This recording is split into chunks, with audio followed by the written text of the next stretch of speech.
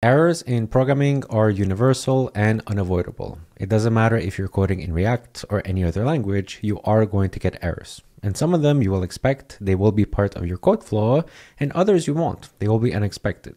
And what's really important here is that you know how to properly handle them in your own applications. So in this video, that's exactly what I want to show you. I want to show you the way that you should handle your errors in your React applications for both expected and unexpected errors. But first, before we get to that, a quick word from today's sponsor, which is me once again. I want to talk to you about Import React, which is my free React newsletter that you can use to stay up to date with all the latest and greatest in React, all the things that are happening, which is something that I do personally. It's a great resource. And also, you get cool tips and tricks that I write there myself that I'm not going to share anywhere else. If you're interested, I left a link for you in the description. I highly recommend that you check it out. Now, let's get into the video.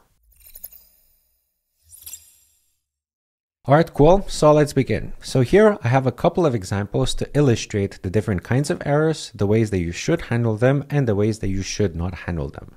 So first, let's go back to what I said in the introduction of the video. There are two kinds of errors. There's errors that you expect, and then there's errors that you do not expect. Errors that you expect is like this first example here. Let's say that we have a form, right? We can type an email and we can submit the form and we submit it with an invalid email address. This here is technically an error. Something went wrong, right? We tried to submit a form that was invalid.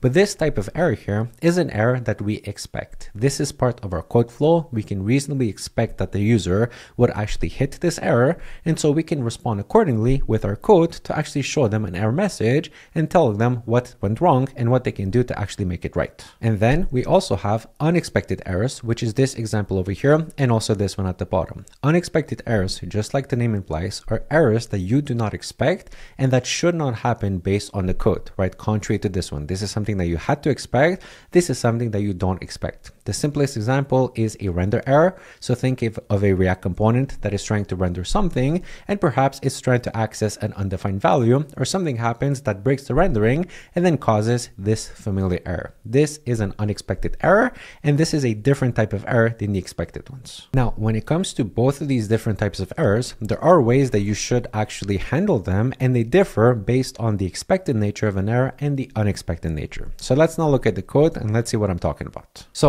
this is the code that's running this entire page. We have our three examples here. We're going to look at this bottom example in just a moment, but first let's go and look at our expected error in this server action example. What is very important with expected errors is that usually you should not throw an error. So you shouldn't do something like a try catch block and then throw an error. Instead, what you should do, and what we've done here inside of this use action state server action, is you return an error message to the user. You don't throw an error using a try catch block, but you return the error instead. Right, so here we have the submit form action, it gets the email, it performs some validation, and if the validation fails, we're returning an object, we're not throwing an error, with status error and then the actual message. Now, the reason why you want to do it this way, as opposed to a try catch block, is that there's no actual error that occurred here. Nothing was undefined, nothing was unexpected, right? Nothing was out of the ordinary. The only thing that happened here is the normal execution of our code flow. We made a validation here. We could reasonably expect that this actually could go wrong. And if it does, we just return a message and handle that message. It makes our code a lot easier. We don't have to wrap everything in a try catch block, and then we don't have to deal with any error. We just return the message instead, use it here in the UI, and then we show it to the user. So that's how you want to handle expected errors. Now, unexpected errors, which is this component and this component, you want to handle them differently. What you don't want to do is you don't want to have this example over here. If I go back to the application, you don't want when an error happens in your app, in some component, in some part of the component tree, that it crashes the entire application. Because sure, this is cool in dev mode. We can, as I said, see the actual error and the line and the file that it happened. But in production, a user is not going to see this. They're going to see a blank page and they're not going to know what happened and they're not going to be able to do anything in the application after that error unless they reload the page. And this is a very bad user experience, right? Because if a user has to refresh your page just to use your application again, they might leave and never come back, right? This error might have annoyed them. And even worse, if they were currently working on something, perhaps filling a form and it wasn't saved, they would lose all of the progress. So you don't want to handle your errors that way. You don't want one single error in some component to crash the entire application. Instead, what you want to do is you want to handle your errors like this component over here. I can trigger a fetch error. We are going to get an error here, but this is only visible to us in dev. so we can just close this. And then we have something went wrong, failed to fetch, but this error is self-contained within this part of the component tree right? I can still use the other parts of the application. I can still submit my form here and I can still get a message, right? There's no problem with that. I can use the rest of the application and the error got contained here. And what's even better is now I can press try again, which clears the error and allows me to try again, maybe perhaps differently, in a way that wouldn't necessarily cause that same error. And the way that you want to do that, if I go back here to the code and look here at this example here, is you want to use something that we call an error boundary. An error boundary is a component that you can create in React yourself, or you can use a library, which I'm going to show you in just a moment. And what this component is going to do is this is going to wrap a specific part of the component tree, in this case, this component and all of its children. And if there's any error that happens within that component, that error is going to get caught by this component and everything outside of that component, like these two components here and the rest of the page, are not going to be affected by that specific error. And this is really useful because now you can put these error boundaries anywhere that you want in your applications and you can completely customize the error behavior and the error handling in your application. You can even provide a fallback component like we did here. This is the component that we see that actually can show something to the user to show that something went wrong, right? Like we have here, and even offer them a button to potentially reset some state, clear the error, and then try again. Now, if you want to create your own custom error boundary component, you totally can and you can go here to the React docs and they give you exactly the code that you need to be able to do that. This is the error boundary component and this is a class component as you can see here. So spoiler alert, in 2025, class components are still not dead. There's still at least one use case for them and that is error boundaries because of the simple fact that you can't do this in a functional component because you need access to component did catch, which is a lifecycle method, and also the static get derived state from error function, which is not available through hooks. But you can literally take this component, put it in your own code base, and then just use it directly as we're using this error boundary component here.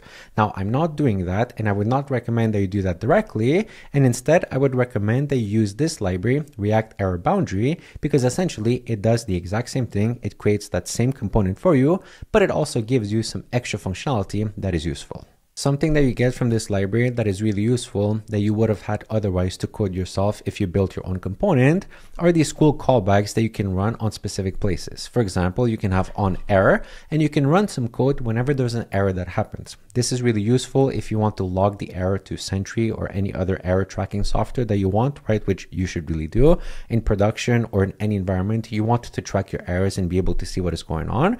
But also you can run some code on reset, which you can use to actually reset some state to again potentially remove the things that were causing the error in the first place. These are really cool things that you get for free if you're using this library. But it's actually not just that. There's something else that is really important and that you should also know about error boundaries. If I go and actually open up this fetch error example here, if you look here at this fetch data, here we have a great use case of a try catch block because this is an unexpected error. So we don't know if an error could happen. So we need to try it. And then if it does, we need to catch it. But notice here that in the catch part of this block, we're actually not throwing an error, but instead we're calling this show boundary function which comes from the use error boundary hook, which comes from the library. The reason we're doing that is that error boundaries do not catch errors that are asynchronous. So errors from a fetch, for example, are not going to get caught in the error boundary. I can show this to you by just commenting this out and we can come here and we can throw the error. And then if I go back here to the application and I just refresh and then I can trigger the fetch error, we're still going to get the error here because the error is going to get thrown. But notice that our component is not showing the fallback error when we have an actual error. That is because, again, asynchronous errors do not actually get caught in an error boundary. And so instead, what you want to do is you want to get this hook, this function from this hook, show boundary. This is going to use a context API to connect to the nearest boundary, in this case, this one. And then you can just call this show boundary function, pass it the error, and then that error is going to happen and be shown in the actual fallback of the error boundary.